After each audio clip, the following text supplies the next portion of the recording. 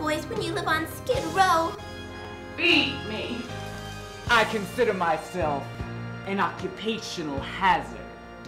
Feed me. You ought to be in school. How do you intend to better yourselves? Better ourselves? Mister, when you from Skid Row, ain't no such thing. Feed me. He's a professional. What kind of professional wears a leather jacket and rides a motorcycle? Feed. What do you want me to do, Audrey II? Kill people? I'll make it worth your while.